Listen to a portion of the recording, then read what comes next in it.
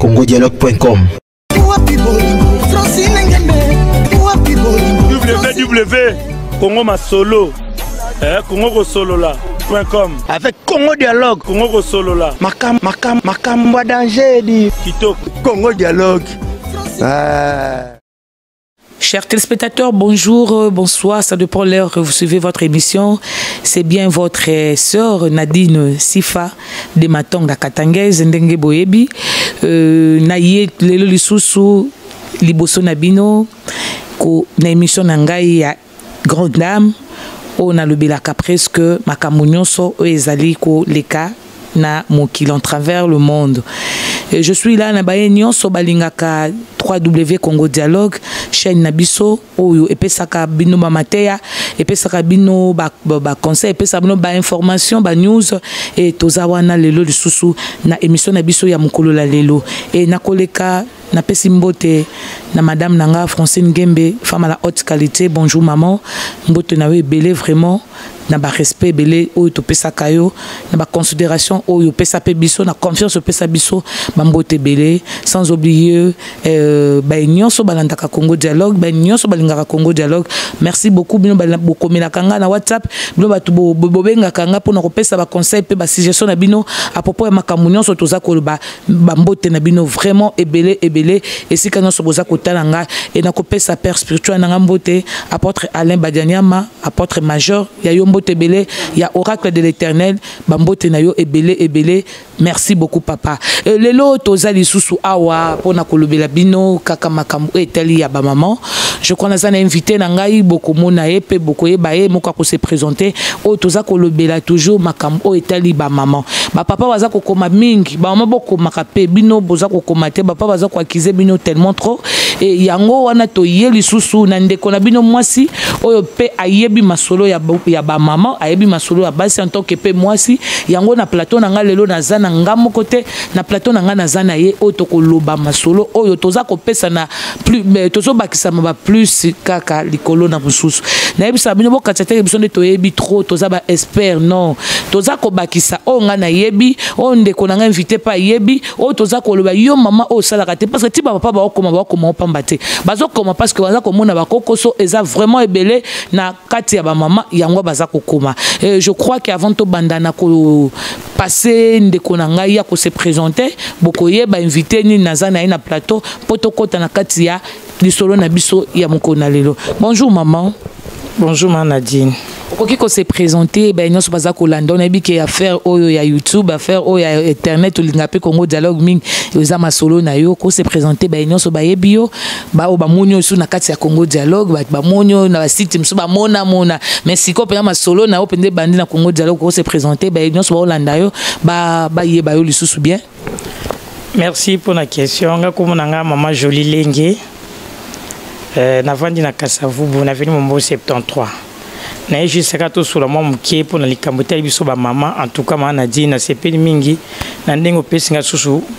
parole oyo mpona koloba ntina na biso bamama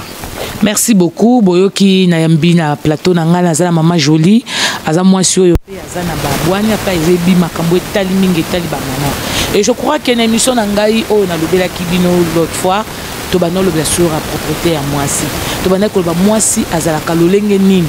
mwasi ya libala ou mwasi en général parce que bato bakomelinga babi mamaka mwasi ya libala biso bonano tobali te tokoki kozala na droit ya propriété te tokozala droit nini te non tolobela kaka basi ya mabala te tolobeli mpe na basi bafi oyo nyonso aza mwasi oyo abengani kaka na mwasi nde toza kolobela mwasi lolenge ya mwasi ezalaka lolenge nini mwasi asokolaka combien de fois nayebisaki bino ke mwasi asokolaka trois fois mwasi aza motu oyo fo azalaka propre propriété aire nyonso kozelaka te ke oza na rendez-vous moko babengi yo mpo bima avant obima nde osokola mwasi azalaka déjà prête heure nyonso okoki ovanda mpe boye yambi visite moko na ndako ovanda mpe boye mobali asali yo surprise to fiancé to copain abimeli oka na ndako boyebaki te yango soki akuti yo salite akolobaki mwasi oyo azalaka propre tant tozalaka na ye il faut mwasi bakutaka tout moment ozala toujours propre et je crois que mama jolie sujet na biso aloyo toza koloba kutango etali bopeto epai ya mwasi tolobelaki tozolobela plus basi ya mabala mpo mibale baye babi basi na bango baza salite mwasi akomata na mbetu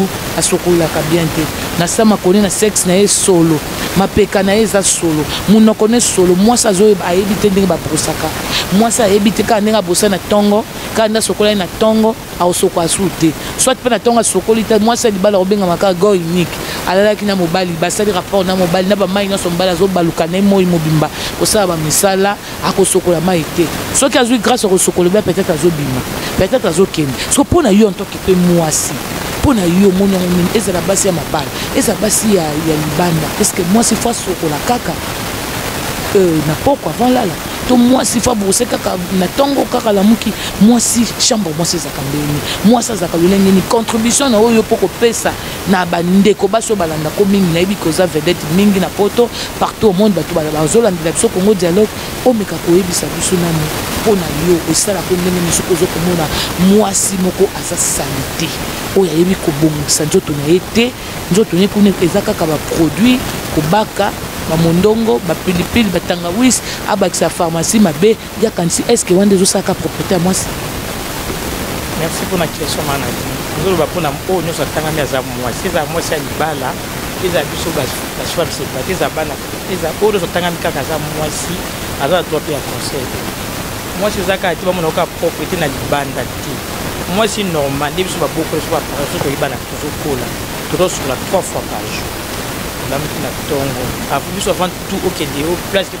kokota mwa bouche osukoli obrose bouche oza mwa bapoil na se ya mapeko orase ata oza nano na mbongo ya parfum ta bati transparent otie mpo noki to transpere osali makambo apo oleki na table oblige soki ekomi midi obligatoire fo kota douche po nde odejeuner na ntongo otambwe mwa mokie na banjambi sokende mwa wenze osomwa biloko avant to matisa biloko na moto fo sukola nzoto toto eza kaka teke fo sukola kaka ozwa kaka nzoto ozwa kaka na basavon de luxe po nzoto te ata oswa monga ototoyebala kitoko ezalaki kaka savon sukola na ngo mwasi nyonso fo asukoli tuna ye na ntongo midi biso ndoto na biso ya basi eza mwa baorgane eza mingi eza kashi foluka kosukola mpena nzoto no bien propre sisi kosala mosala na olambi oservi bandeko na yo to mobali na yo soki omi mpokwa 18 heure okoti na douche kosukoli mpo mobali akopito toujours kolongo toujours propre eza te kasi ozwi mondongo nde obaki kuna nde mobali oki elengi te biso tozokolemama mondongo te toyebi mpe te so eloko yango euti wapi komi kaka mondongo na ba pili pili ya mikie wana babi osangisi na tangawisi so na makasa tomate toyeba na so mondongo te mama lelo ekomi ozwa tomate kuna baka kotisa ye zwa ngange kuna baka kotisa ye en tout cas biloko ya mpe ezobebisa biso banzoto mama bokoma lokola batomson basaisonne ntango basino batiki na mo elembi nde kuna na se ekoma conseil gratuit mpona bana basi nyonso ezala mwasi ya libala ezala mwasi ya na ndako ezala jeune fille azokende classe mwasi asukolaka mai ya pio na nzela na biso na fasi kisi onga nayebi oyo balakisa nga na to apara na ngai yango wana mai kaka tomonaka mai naturel oka mai biso moni yango so osukela biso na kati biso basi ekomi na biso propre impeccable à moins que soki oza baperiode na biso ya ovulation soki nde osilisi baperiode wana ezalaka mpe en excès te ozala na 4 jours tozalaka na baperiode na biso ya bamama après 4 jours wana 5e jour elandaka okomi ya mwa antibiotique na yo otie mwa ovile mpo nzoto mpe ezala propre ezala eza continuer te kino chaque mois te un petit 3 mois après tose mois c'est vraiment ba ben ti biza yango défi mais okozwa ba biloko bokoko dose batiaka kuna oyebi te ozwika kuna oka balobaki sala kuna ozwi kokotisa sala kuna yango wana nzoto biso basi eza kobeba mbele bakoma okima biso mpo na biloko ya kotiakatiaka ozwa obaka ekotisa ebimisa ye yango ezosala biso kitoko me basi ya mabala balobi ke bango mpe basui systeme okende kosombaka kobakaka mpo bino bafemme sele bafili nani oyo boza na mabala te bozo koyiba mibali na bango likoya bibakabaka yango mpe bakomi bakoti masolo yango wana estce eza malamu masolo yango na basi ya mabala babanda kokotama masolo yango kaka bopo na osepesa mibali na bango non manaki eza yango kitoko te eza yango lokuta mpo nga nde navandi wana opesaki na mpe na ngambo mpo nga mona ano mwasi mpo nga banda nabotama nayebi nde bazwaka Oh, kotisa kuna balusa te. Nga na sukola ka maya pili.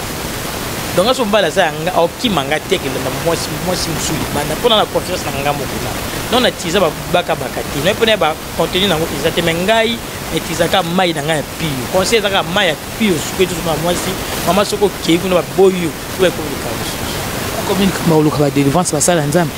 e tozongi likambo yango bandeko balandi nayebisaki bino ke mwasi asukolaka trois fois lokola mama jolie auti oloba tokutanaki na ye te tosololaki na ye yango te mais comme aza mwasi oyo ya propre oyo abandi eloko wana uta ya baparent yango lelo nazokobabake foti mingi eza ya baparent ebele bazokoka lisusu kolakisa bana na bango te bozomona mwana mwasi jeune fille azokola 16 ans 15 ans meme 12 ans mwana azomata na mbetu mwana azosokola mai te nyonso ya biloko wana eza kopesa biso mpasi eza malamu te Yango mama il faut koyeba kolakisa bana ndenge nini ya kosokola nzoto. Eza na ba mama ebele bayebi kopesa bana propriete te. Mwana mwasi azokola aza na propriete yango mabe okaba milo na ndako ya libala. Mwasi akoti na ndako ya libala dress ekomi salite, eh, chambre na ye salite, ba te d'oreiller solo. Mama azokoka lisusu te. Mosusu aza kobake ngai naza na ngai na mbongo te. Eh, mama Jolie nayoki kipasi. ndeko mobali moko ana mboka paris awuti okomela ngai na whatsapp abi mama nadi lobela na basi oyo baa na poto na poto biso toyebaka ke kuna nde baza propriété eleki alobi bakendaki epa ndeko moko ya mwasi ndeko ya mwasi akufelaki papa na ye na kinshasa bango na paris bake kotala ye na ndako alobi toilette na ye na poto mama abi toilette solo abi toilette solo ya zei lokola moto azwaki mai ya mbisi to ya babiloko nini asalelaki ake kobwaka na kati ya toilette abi mama nakokaki te toilette ya ndeko mwasi na poto bakendaki matanga esali nga mpasi abi mama lobela basi ya poto baza sali te bandeko basi bosilika te toza kosungana eza makambo na bike mibali na bino bamibali to barelation bakamarade boza nango na poto bazokomela ngai na whatsapp na ngai napesaka bino plus plus 243 80 081 51 27 sur 9 bino bamama bokoma mibali baza kokoma mpo na koyebisa bino yango mama joli okoki koyebisa bamama to basi oyo bamabala ndenge ni chambre na bango koza parce que na ye chambre na yo na mokoti na mona chambre no propre est ce que chambre ya mwasi mpo eza propre fo ozalaka na mobali yo kutu oza yo moko olalaka yo moko mozobongisa ozosokola dra bongo ndenge ni mwasi ya libala mpo na kobongisa chambre na yo mpo na kosokola toilette kaka pambo eske eza nini nayebi te soki mpo na yo likambo wana okoki koloba ndenge nini na bandeko nyonso basi bazolanda yo partout na bangola poto états-unis canada partout na rdc esika nyonso baza kolanda yo mpo na yo okolobela biso no nini likambo ya chambre li conjugale likambo ya mbetu parce que oza mwasi oyebi masolo yango ndenge ezalaka merci mama nadi pour la question wana eza ma question moko très capital omoni balobi une femme sage batisa mwasi moto atongaka mboka donc otonga mboka ye te kotonga mboka eza phrase moko eza très euh, comment dirais-je très capital ye te kotonga mboka nde bazwi brique batie batongi mboka te ça fait partie ya propriété mpe ya bana basi donc eza lokola ndeti ngai nakolela mpo ngai batata mwasi na ngai atuka nzambe azwa molimo na bango bapema na kimia bango nde balakisa ngai surtout mosala vraimen ya kobongisa mbeki balakisa biso tu bana bandeko bango ya mibali surtout mosala ya kobongisa mbeki chambre vrame naa na grande sia na ngai mama teska soki abongisolo chambre tofoka tutuna mona asali chambre mpo balakisa biso ja de le base lokola bato ya bapapa wana basalaka na bagrand hôtel na bachambre wana esi tokola nango bongo mbeto ya mwasi didi conjuga to mbeto ya yo mwasi ozaka na mobali te fo eza toujours propre mutu normal akosala na dra 3 jours na mbeto te dra fo olongola yango donc na bato deux jours ochange dra na yo ya kolalela mpona po dra so eza salite omona kaka pongi eza kitoko savon eza moye basavon lekoke eza ba 5 ba 5 100 franc eza réseau ya savon bongo kuna na poto kuna nini ezangi kuna na mboka ya biso mokaya tonikala maboko bango kuna bana bamashine mashine alave ezali savon eza pax eza eloko mo moins cher etekama partout eza kaka motu aza nde kaka propre donc propreté mpe atokolino toto ozokoma mpe mokoso ozofunga te baninga oyo baza mpo okoma mpe kaka propre donc nazobeta sete soki likambo ya mbetu li conjugal to mbetu mo mama olalaka to bandeko to mwa balalaka fo eza kaka propre batri eza nango moins cher basavo eza nango bamai soit basi vraiment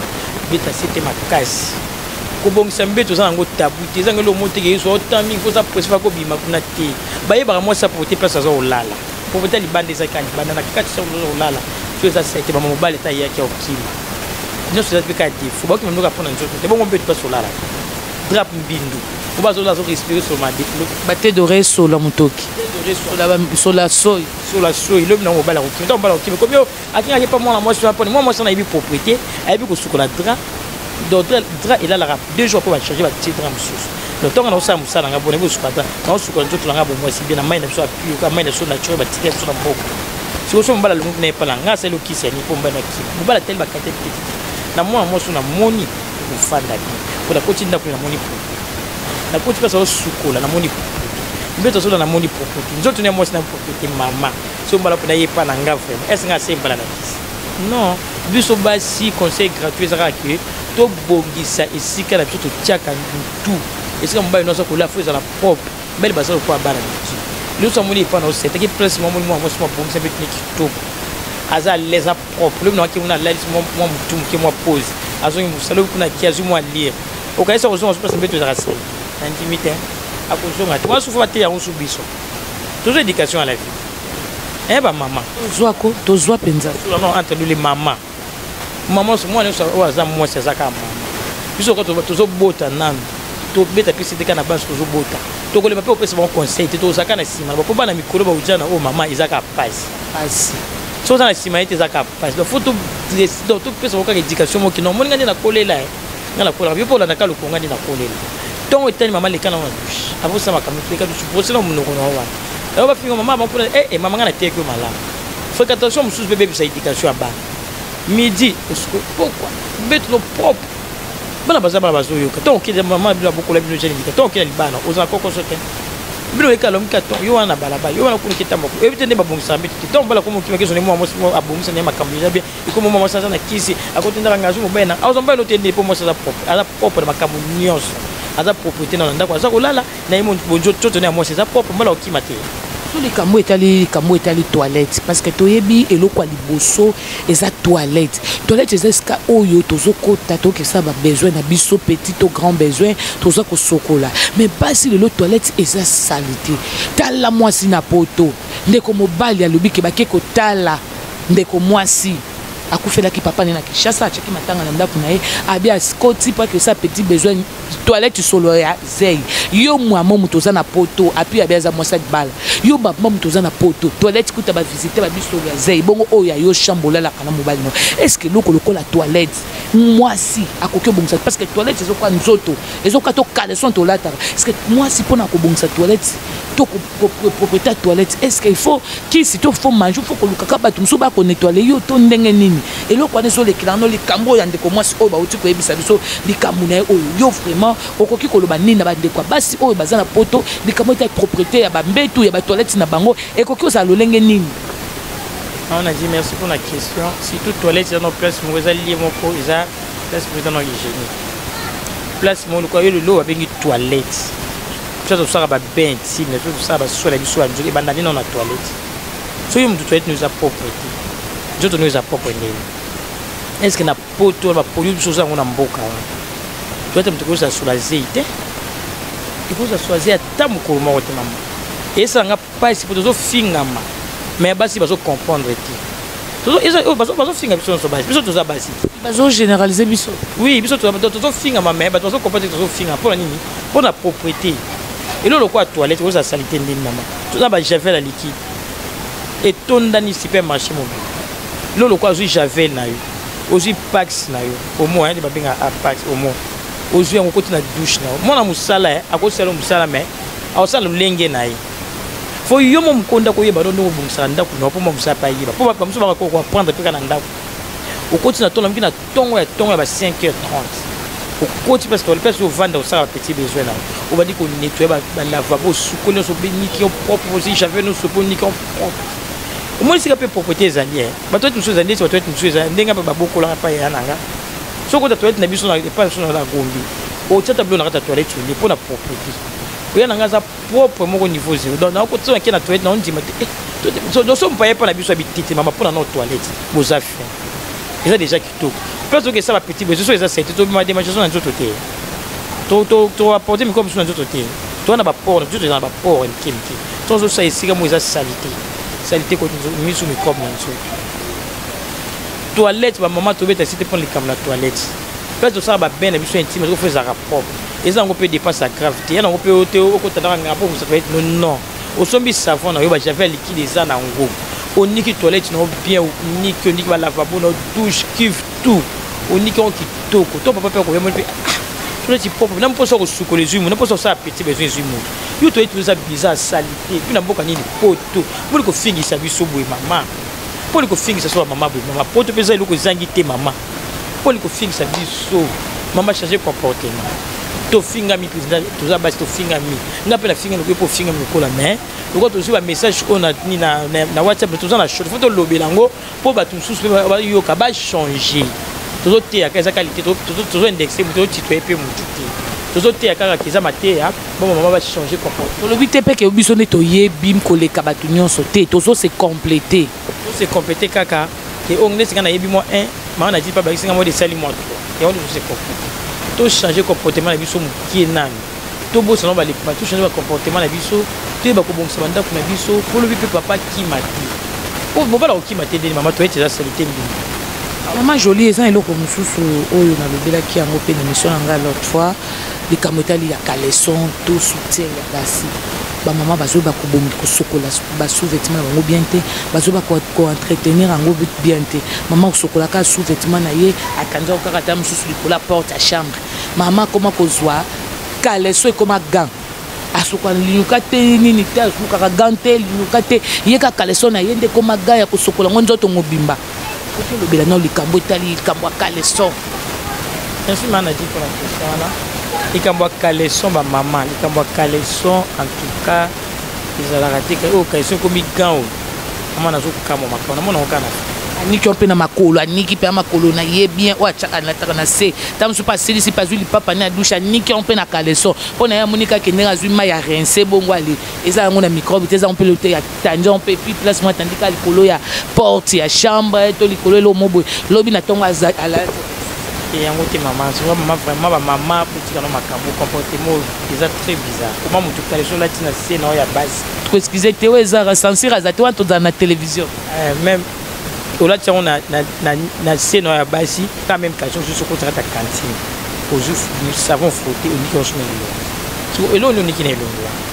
ozwi saite no onika osu na elongo ozosukelaki ozwi lipapo ekendaka partout oke na ozando mabe okoti na owese mabe ka na meme caleson ozwi so onikela lipapo mikomi ozomema na nzoto na yo mpe mikomi ntango omema nzoto ntango okutana na papa opesi nini babi bademo kaka surtout mpe bademo baosala makambo makasi na mikolo koma kaka moke demo bapase bofana na bino idemo liboso si yo moko demo liboso yo moko botika kozwa sous-vêtement oyo olata na nidite na yo oke kosukola yango na nzoto eza vraiment défendu osala yango antoka azobetela yango si somba liluka na yo somba gana oyo osukoli na yango osilisi onika yango bien otie na singa mpo ezwaka moi batiaka kaeso na chambre te kaeso ezwaka moi ezwa moi oposi na yango orepasse yango bien ozongisa na kati ya valise no propre kaeso efa na kati ya humidité te ozomema microbe na kati ya nzoto eh, bandeko na ngai basi toyokana bandeko mama mama joli auti kolobala biso abatie biso plus moko kaleso nde nautai koyebisa bino kaleso batandaka yango na kati ya malili te na nini te kaleso batandaka yango na moi ezozwa barayon wana ezoboma barayon ezoboma bamikrobe oyo ezalaka na kati ya bakaleso mama olati kaleso na yo sokola kaleso na yo soki oza na mwa petit so na yo eza uniquement ka mpona basous-vêtement na yo osokoli basous-vêtement na yo otandi yango na singa o repasser neti bino na poto kuna soki boza na ntango na bino ya bahiver soki boza na bantango na bino ya nini boye batele na bino nde bozala yango kuna o repasser yango ntango ekauki o repasser ntango ozolataka lesono na lobaki l'autre fois awa protège en slip ezangaka te e nde tolobaki ozwi sous vêtement na yo o repasser osala mwa petit so na yo moko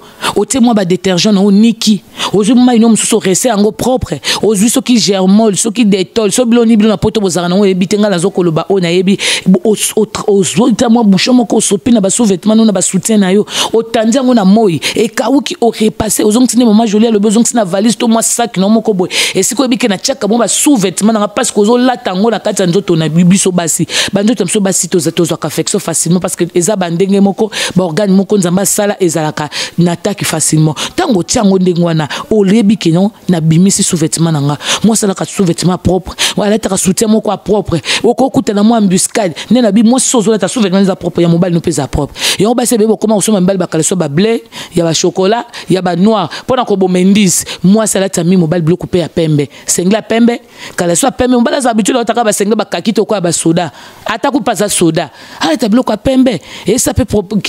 propriété motu amoni chemise moko mobali ati chemise ya pembe sengle mwa pembe directement bato batali mwasi ne barefere na mwasi ne koma mwasi aza propre bamona propriété ya mwasi mpe pa mobali okolinga mobali moko mpe azalaki mbindo lobi pe grâce na yo pe mobali na ko koma propre yango ba maman émission na biso to ye toza ko sunga ba maman mi ba papa ba congodialogue.com